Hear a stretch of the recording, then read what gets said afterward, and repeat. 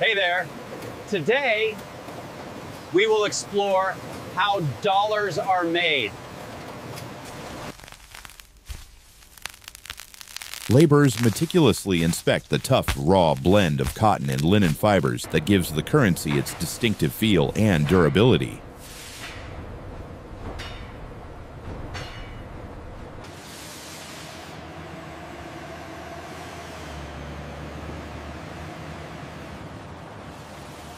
High pressure jets churn the fibers into a swirling, watery slurry, breaking them down to form the liquid base of the paper.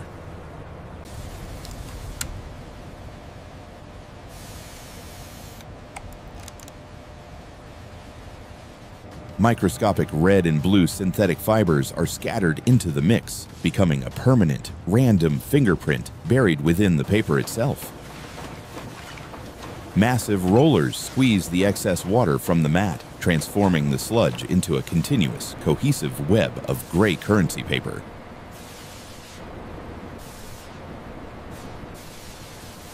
The dried, off-white substrate is wound onto massive 8-foot-wide jumbo rolls, ready for the next stage of security integration.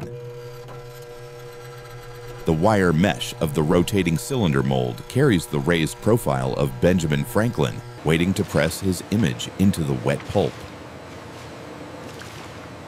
As the paper lifts from the mold, a faint, ghostly watermark is already visible where the fiber density has been carefully manipulated.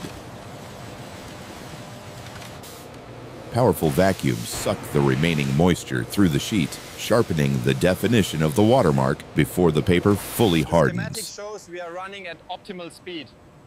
But the moisture profile is uneven. Look at the steam here. Under strong backlighting, the varying thickness of the paper fibers reveals a highly detailed multi-tone portrait created without a single drop of ink. Thousands of distinct watermarks race by as the paper dries, locking the hidden security features into the very structure of the sheet. Precision rollers maintain exact tension on the shimmering 3D security ribbon as it speeds toward the wet end of the machine.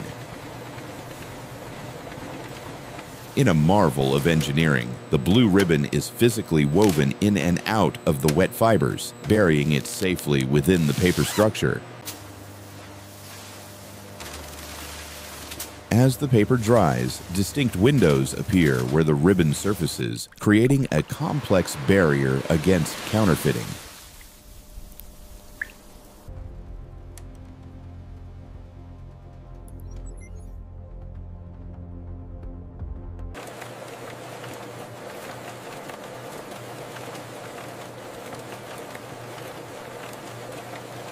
Micro lenses within the exposed ribbon create a stunning holographic effect where bells and numbers appear to dance when the paper is tilted.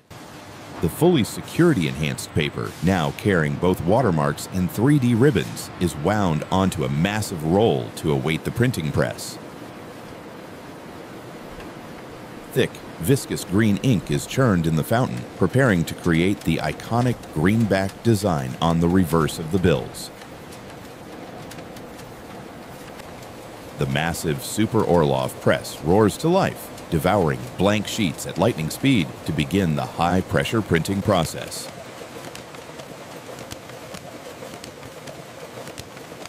Freshly printed sheets fly from the press, their backs now coated in the wet, intricate scrollwork of the historic design.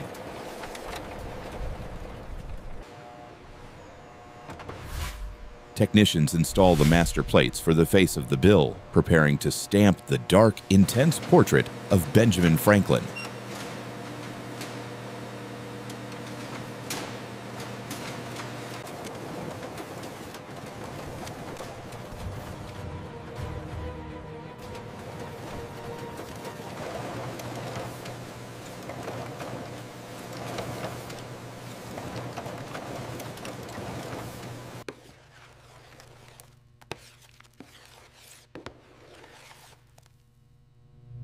The immense pressure of the intaglio process raises the ink from the paper, creating the unique ridges that your fingers can feel.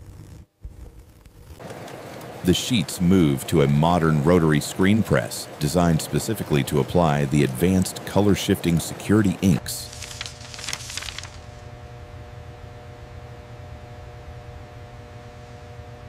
A specialized nozzle deposits a thick layer of copper-colored ink into the inkwell design, masking the Liberty Bell beneath it.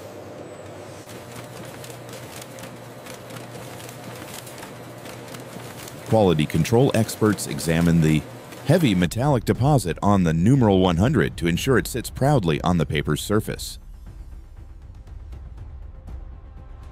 A simple tilt of the sheet reveals the magic as the ink dramatically shifts from copper to green to verify authenticity.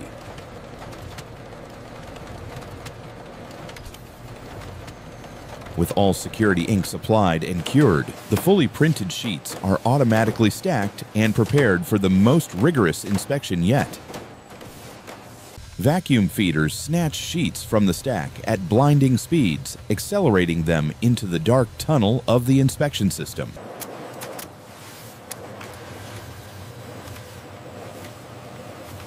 Advanced algorithms scan the passing currency in real time, matching every pixel against a perfect digital master file.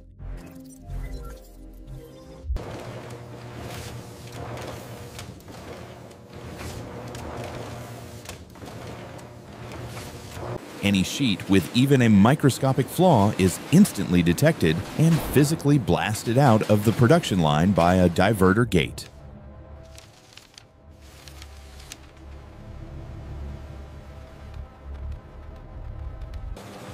Only the flawless sheets survive the gauntlet, flowing smoothly onto the output conveyor to be shingled and collected.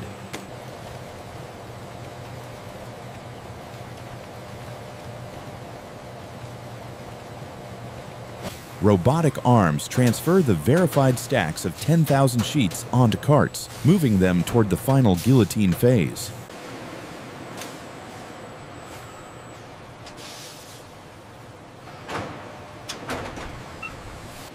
Vibrating air tables shake the stacks violently, using gravity to align every single sheet perfectly before the blade falls. A massive steel blade descends with hydraulic force, slicing cleanly through the thick stack of paper like a hot knife through butter. The long strips are fed into a second cutter, where a rhythmic blade chops them into individual spendable bills. Loose bills are whipped through a vacuum vortex, instantly organizing the chaotic stream into neat, count-perfect stacks of 100.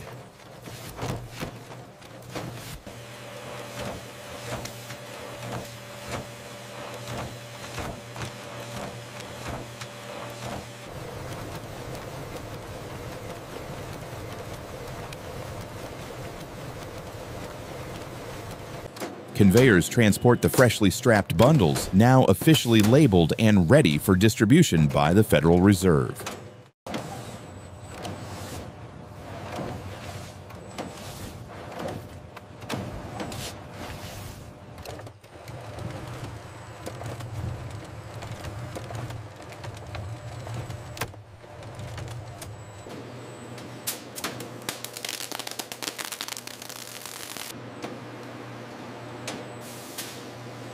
Ten straps are combined and sealed in heavy-duty plastic, creating a solid tamper-proof brick worth $100,000.